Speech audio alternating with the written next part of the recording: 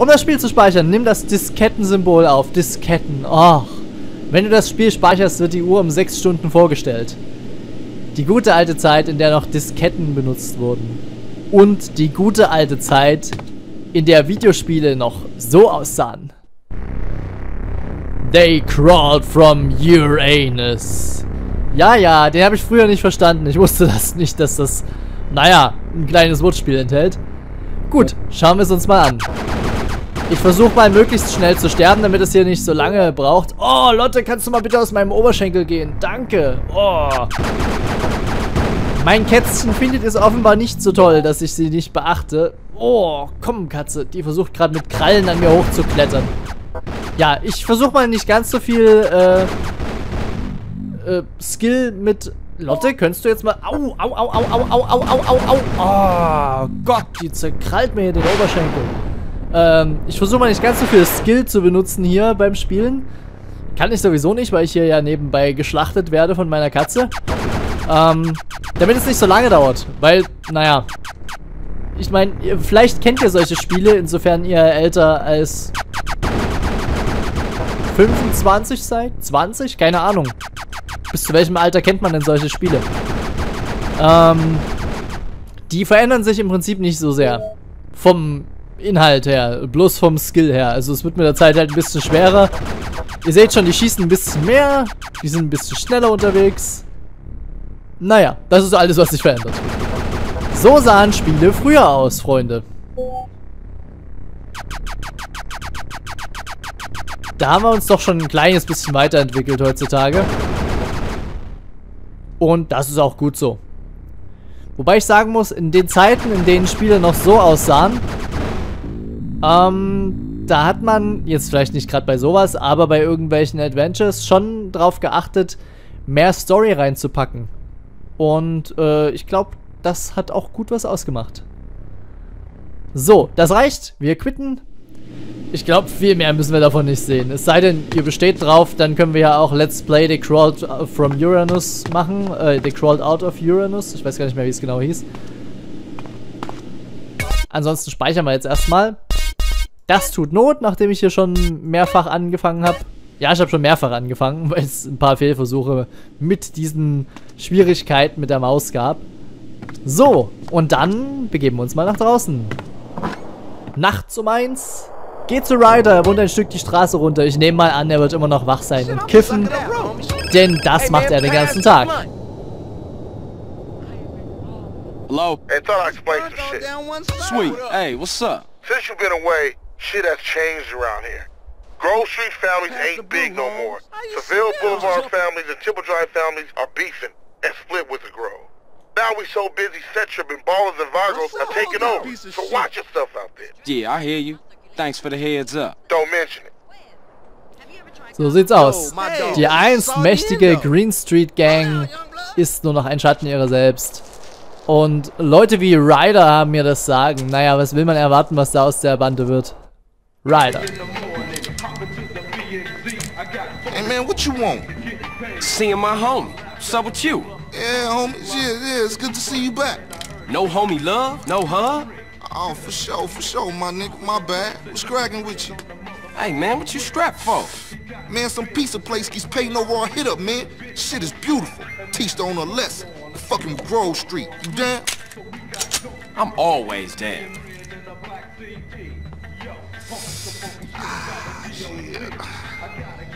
Let's go, bitch. Hey, show me how they drive on the East Coast, homie. Und diese Mission wird uns ganz deutlich zeigen, was mit Ryder eigentlich schief läuft. Ich meine, man hat es ja schon so ein bisschen vielleicht mitgekriegt, aber wir sehen noch mehr davon. Hey, old Reese still run the barbershop? Like a raggedy ass motherfucker. He popped his membrane years ago. The way I let that old fool in my head. Yeah, I think I'd get cut up. Whatever. You got five minutes, I'll be cutting you like a DJ. So when you running off again? I'm not. I'm thinking of staying. Why? My family, the homies is here. Whoa! We were always here, fool. Yeah, but now I'm back, and I know what I've been missing. Don't expect me to kiss your ass or nothing. You still a buster to me. Yeah, okay. Thanks, homie. Natürlich. Don't mention it. Wir sind der Feigling oder das Weichei. Wir werden noch sehen, wer hier eigentlich wirklich ein Weichei ist im Laufe des Spiels. Äh, wundert euch nicht, dass keine Musik kommt. Ich habe das mal stumm gestellt, weil, naja, äh, Schwierigkeiten mit Gamer und so, ihr kennt das ja vielleicht. Also mache ich es gleich pro forma ganz aus. Lass Haare schneiden gehen. Reese's Hair Facial Studio. Gehen die gelbe Markierung, um den Friseursalon zu betreten, kennen wir. So, dann lass mal schnell die Rübe schneiden. Ähm, falls von jemand von euch noch nicht GTA San Andreas gespielt hat, der fragt sich jetzt vielleicht, was will man an diesen Haaren schneiden? Also die einzige mögliche Frisur wäre vielleicht irgendwas reinzuschneiden, da also irgendwo so Teilglatze zu machen, wie das heutzutage in ist, aber ich glaube ich glaube, das gab es damals noch gar nicht. Diese Muster in den Kopf schneiden, wie man es heutzutage auch bei vielen Fußballern jetzt sieht.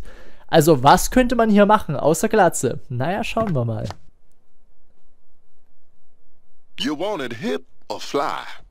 Das Schöne ist, man kann sich hier Sachen ankleben lassen. Zum Beispiel einen Bart. Oh, das war jetzt die falsche Taste. Oh, halt, halt, halt. Ich wollte noch gar nicht gehen. Das war nicht der Plan. Lass doch mal reingehen. Ich glaube, wir müssen tatsächlich uns eine andere Frisur zulegen. Das ist auch interessant. So. Ach, hier oben steht's ja. Eingabe beenden. Ja, da habe ich auch drauf gedrückt. So, schauen wir uns das Ganze mal an. Wunderschön. Ein Traum. Nein, danke. Äh, lieber zurück. Cäsar und Ziegenbart. Naja, es wird nicht besser, habe ich das Gefühl. Cäsar und Bart. Es kommt halt immer noch ein bisschen Fell noch dazu ins Gesicht, ne? Aber schauen wir uns doch mal zum Beispiel den Afro an. Yeah, der ist doch stylisch. Ich glaube, den werde ich auch nehmen, aber wir schauen noch mal kurz Afro- und Bart-Kombinationen sind bestimmt auch schön. Mmm, oh. Da läuft mir gleich der Saft in die Lenden hier, wenn ich das sehe. oh Gott. So, Afro und Bart vielleicht noch. Also ich werde auf jeden Fall ein Afro nehmen. Ich stehe auf Afro. Afro ist cool. So, das hier können wir uns eh nicht leisten, den Flat. Aber wir können es uns ja zumindest mal anschauen. Ah ja, sehr interessant. So, haben wir denn hier unten noch irgendwas? Okay, äh, nein. Eher nicht. Kurze Bürste. Ich habe gerade kurze Brüste gelesen. Das wäre jetzt irgendwie etwas seltsam gewesen. Vor allen Dingen beim Friseur. Äh, nein. Conroll Look können wir uns auch noch anschauen. Können wir uns aber ebenfalls nicht leisten. Äh, muss aber auch nicht unbedingt sein. Ich würde sagen, wir nehmen uns mal Afro und Bart. Komm, das nehmen wir. Jetzt hat er uns 5000 Mal die Haare geschnitten. Yeah, wir sehen stylisch aus. Jetzt hat er uns 5000 Mal die Haare geschnitten. Ich glaube, dann ist er auch gut. Irgendwann bezahlt man auch mal dafür. Bis bald, Reese. Und jetzt wird es Zeit, jemanden auszurauben. You know something? I take it back. Old Reese still got it cracking. Man, what's this? Shit look ridiculous. No respect for the hood. All clean as shit. I'm looking too skinny, CJ. I wanna get us something to eat. I'm gonna finish this, then I'm gonna take care of business. Wenn du nichts isst, verlierst du Gewicht und irgendwann auch Energie. Der rote Balken zeigt an, wie viel Energie du hast.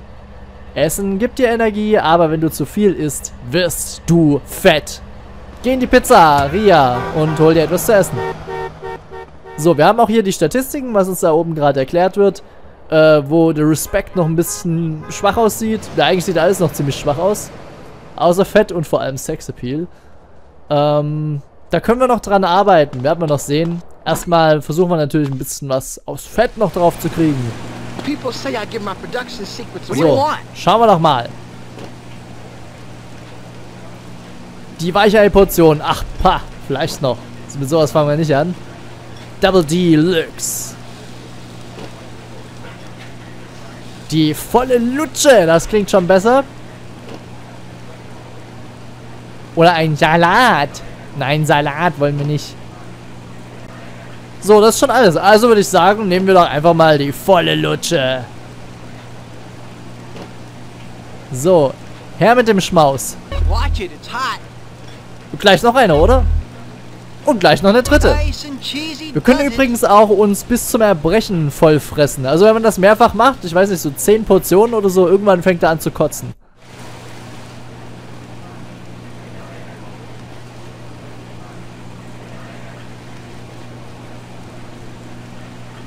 Give up the money. This a raid. Ryder, not this again.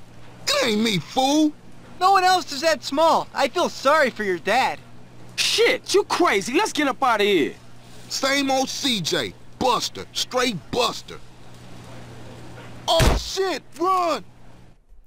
Dieser Fucker. Ja, wir steigen dann lieber mal schnell in den Wagen. Ich möchte diese Waffe. So. Ich möchte nur noch kurz die Waffe einsammeln, dann können wir gehen. So, das muss einfach sein. Ein bisschen für den Waffensammler. Tut mir leid, mein Freund. Aber, äh, ja. So muss man hier agieren in diesem Spiel, wenn man zu was kommen will, nicht wahr? So, dann wollen wir auch mal Riders Karre ein bisschen zu Klump fahren. Ist ja nicht so, als ob der jetzt unbedingt ein schönes Auto bräuchte. Oh Gott, was ist denn das für eine schwammige Lenkung? Die ist ja schrecklich. So, einmal rechts rum, würde ich sagen. Hier vorne ist übrigens auch ein äh, Fitnessstudio. Da wollen wir dann auch demnächst mal reingehen, denn wir wollen aus dem Fett natürlich Muskeln machen. Und das bedeutet harte Arbeit für uns. Aber erstmal geben wir wieder Ryder ab hier. Better drop by and see Sweet. He's been yapping on about that graffiti too. Later, homie. So, ich glaube, ihr könnt jetzt nachvollziehen, was an Ryder schiefläuft oder was mich so ein bisschen an ihm stört. Und ich würde sagen, wir stützen uns gleich in die nächste Mission. Auf the Suite, hier ist ja alles gleich beieinander. Los geht's. Tagging up turf. Watch out, fool. Come on, fat boy. Watch this, fat boy, look at, look at. Look who's here. It's running man. What, you think you back on the set? I told you that, bro. Your word don't mean shit around here. Come on, man. Give me a break. We gotta go hit up the hood. Hey, CJ. Let them know you back on the set. The Johnson brothers is rolling again. Take this paint and go hit shit up. Start with our own set first. Later on, we spread out, take the whole hood back. You already spreading out, fat man. Let's play. Let's see what you got, poor chop. Hey, wait up. Ah, thought you hang with your brother, huh? Oh, ease up, little man. Come on. It's been difficult. You want to drive? Yeah, for sure. Ich glaube, die fahren alle nicht so gern. Wenn sie jemanden wie mich ans Steuer lassen, alle miteinander? Na gut.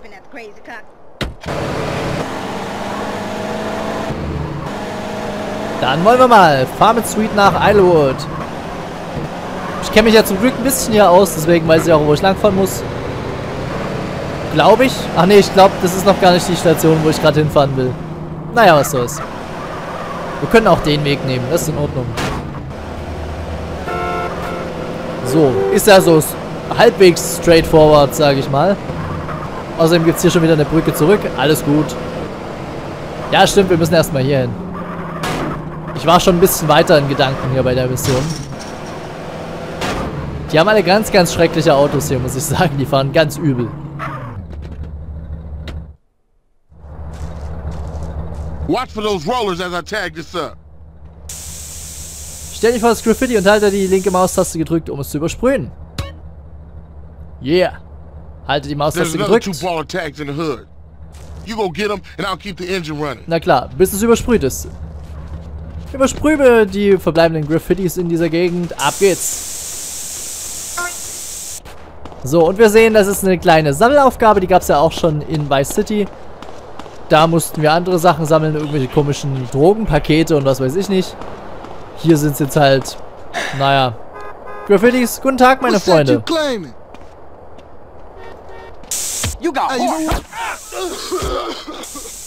So, wollen wir doch erstmal ein bisschen die Leute hier umbringen. Du auch noch? So, zu Tode gesprüht von der Spraydose. Das stelle ich mir schon ein bisschen traurig vor. Vor allen Dingen, wenn es auch noch in Grove Street Farben ist. naja, geht alles, geht alles. So, wir verziehen uns mal ganz schnell. Auf geht's. War das nicht auch schon Ballers hier? Ballas, wie auch immer. Eigentlich heißen sie ja Ballas. Aber man fühlt sich ja ganz lustig, wenn man sie Ballless nennt. Naja. Feindliches Ganggebiet kann gefährlich sein. Wenn du dich dort zu lange aufhältst, erregst du Aufmerksamkeit. Ich errege immer Aufmerksamkeit, egal wo ich bin. So, einmal hier um die Ecke. Jetzt sind wir da, wo ich schon zuerst hinfahren wollte. Naja. Du machst einen Scheiß, du verziehst dich einfach nur, du Feigling. Das Übersprühen von Graffitis rivalisierender Gangs, bla. Den Rest konnte ich nicht mehr lesen. Wahrscheinlich, ach so, bringt dir den Respekt deiner eigenen Gang ein. Graffitis sind, äh, in ganz Los Santos verteilt? Keine Ahnung. Das sind Ballers Gang-Mitglieder, gekleidet in lila. Sie sind eure Erzfeinde. So, jetzt kommen wir sowieso dazu, den Leuten ins Gesicht zu sprühen. Da hat jemand auf mich abgesehen, habe ich das Gefühl. So ein kleiner blauer Bastard. Sterbt! Ballless! So. Gut, dann verziehe ich mich mal lieber. Wenn man es hier so auf mich abgesehen hat. Und das war jetzt einmal nach oben, genau. Alles klar. Hops.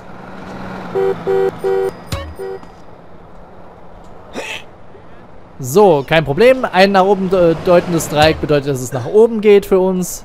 Alles logisch soweit. Ist eigentlich ziemlich intuitiv, die ganze Radaranzeige und so. So.